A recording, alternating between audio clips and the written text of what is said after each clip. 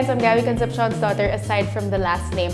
My panga, obviously. Voice conditioning tip you can share. Uh, vocalize every day. If you don't vocalize, just sing. And then, yeah, just sing every day. My guilty pleasure is chocolates. what is my favorite thing to do with my ate Casey? Uh, my favorite thing to do with her is try different restaurants and watch movies. Share tips on how not to be a victim of kidnapping and human trafficking.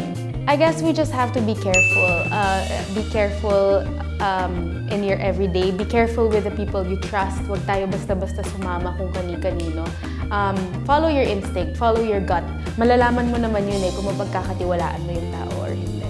As hi everyone, I'm Gary Concepcion and again I would like to invite everyone to watch Across the Crescent Moon starring po dyan si Mateo Guidicelli, Alex Godinez, um, Gabby Concepcion, Dina Bonnie uh, and, and many, many more. Uh, showing na po siya on January 25 nationwide. Hope you can support us.